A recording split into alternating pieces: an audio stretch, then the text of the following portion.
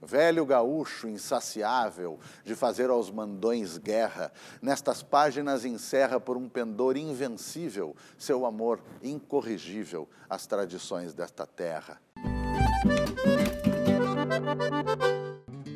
Que beleza essa oferta do Amaro Juvenal abrindo o poemeto campestre Antônio Chimango. Amaro é o pseudônimo do Ramiro Barcelos, autor dessa maravilha de sátira política gauchesca que apareceu lá em 1915, atacando o todo-poderoso Borges de Medeiros. É importante a gente ver que a figura do gaúcho já era construída no imaginário como de um guerreiro contra os mandões, amante das tradições desta terra.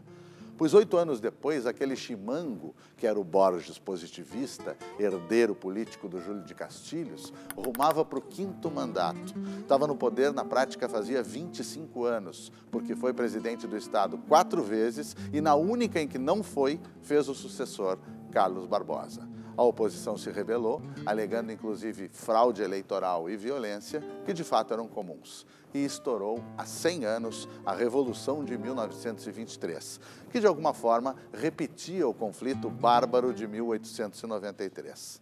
Mais uma vez, a elite federalista representada pelos maragatos nas forças rebeldes, agora liderada por Assis Brasil, procurando romper aquele ciclo de poder e disputando a hegemonia no Rio Grande do Sul. O acordo de paz incluiu a reforma da Constituição e algumas conquistas importantes para a oposição. E o Chimango?